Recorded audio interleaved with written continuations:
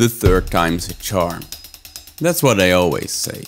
So after a failed first attempt, however, in this last month I've been running into some problems. And a somewhat decent second attempt, I thought this year was gonna be perfect. But as it turns out, I was wrong. But I'm getting ahead of myself. Let's start the story at the beginning. It was a warm spring day. I noticed the tadpole season had started and there was no time to waste.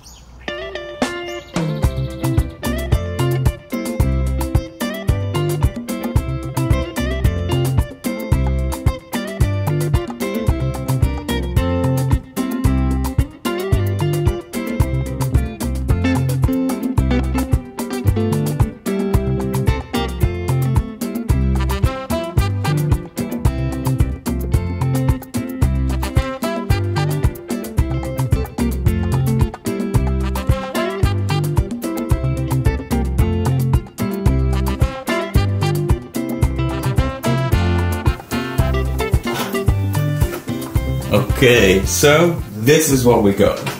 I think this is a pretty decent group, but the clock is ticking. In just 50 days, I'll be on vacation. And my mission is to have these little guys fully turn into frogs before I leave. It's a tight timeline, but with the right setup, it's definitely possible. So let's get to work and build them a proper tank. I managed to find this old terrarium online for free. It is a bit dirty and it has multiple cracked panels, but we can work with this. First, the tank needed a good clean. Then I took the whole thing apart and replaced the broken panels.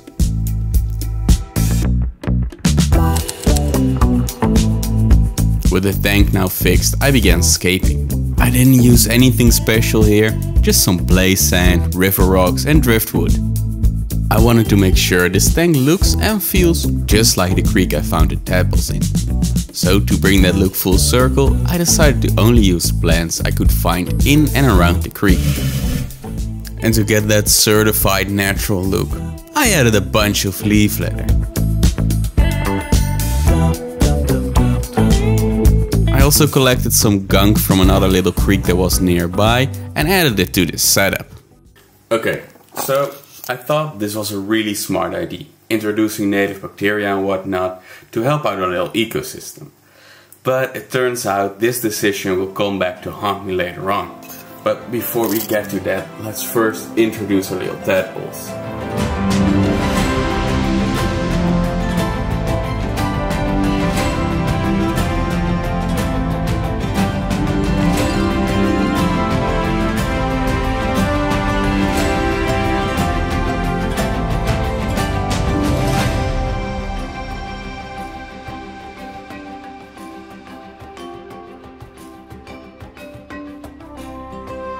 Felt that the upper area of this setup was a bit empty, so I collected some branches and added them to the tank.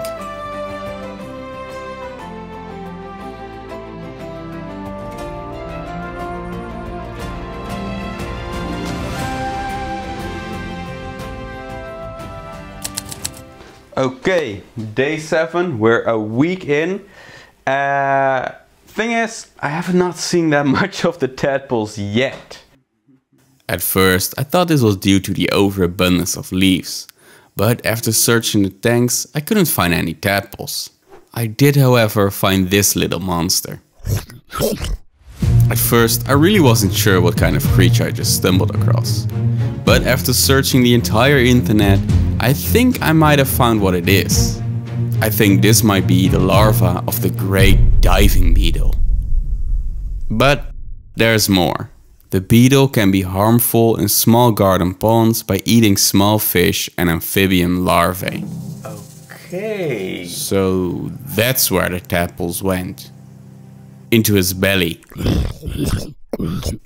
Let's call him Kevin. Two days later, the main tank still seems to be empty, and so is Kevin's belly. But we can't keep feeding him tadpoles. So instead I switched him over to mealworms, which he seems to like as well.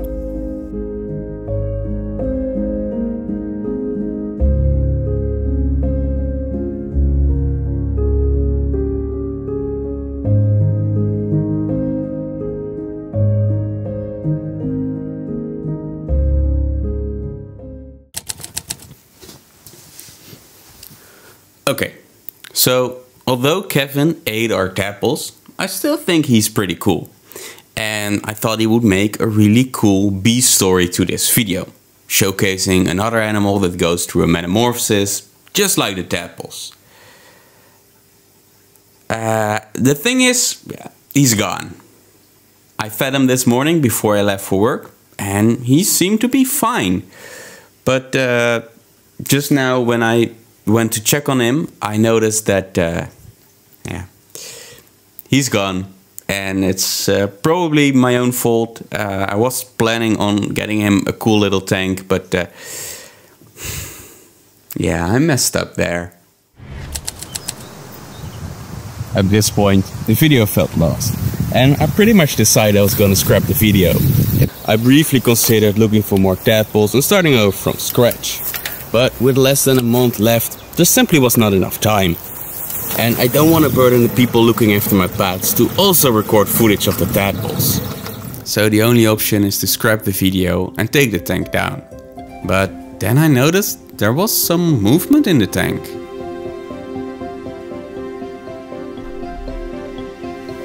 I think I just saw a tadpole.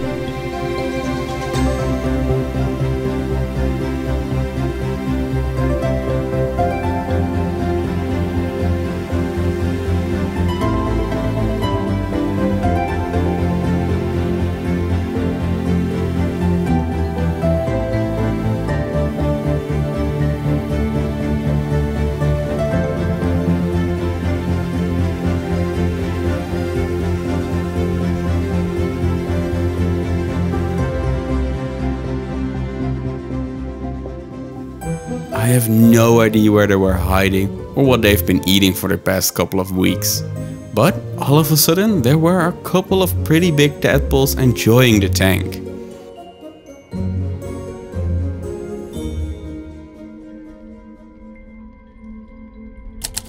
I'm very happy to see that the tadpoles are growing fast and more and more of them keep showing up. Although I'm still a bit confused about where or why they were hiding. My best guess is that they noticed Kevin's presence in the room and now that the smell of the predator has faded, they feel safe to come back out again. Anyway, I'm just super happy to see that we still have some tadpoles left. They luckily all have grown their back legs by now and I'm really hoping to see the first front legs soon. It's day 40 and with only 10 more days left I could notice there was something going on. It seemed like everyone in the tank already knew. They knew something big just happened. One of their brothers just grew his front legs. And what makes this even more special is that it's on one of the smaller tadpoles. You can see the big boys next to him being jealous of his legs. Well don't worry little one, you'll get yours soon enough. Our four-legged friends seem to already try and get out of the water. So I guess it won't be long until we see them up in the branches. Okay, it is happening. Hey, it's my cat. It's happening. Guys, take a look at this. Just look back there. Wait, we need to get closer. We need to get closer. There we go. We got our first frog. And he's not alone either. All over the tank you can find these tiny froglets. It's looking really good for our little frogs, but not everyone is quite there yet. So let's just give them a couple more days.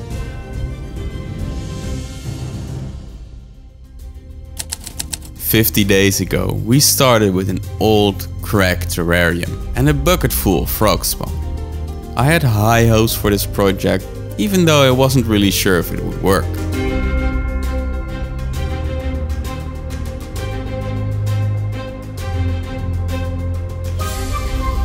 We faced some setbacks along the way, but somehow they made it.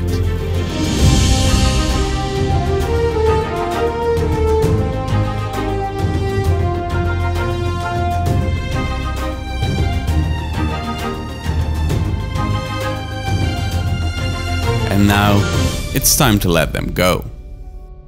This is the same creek I found them in and now they're going back but this time with lungs, legs and a whole new perspective. And yeah, not everything went as planned, But that's what makes this adventure special to me.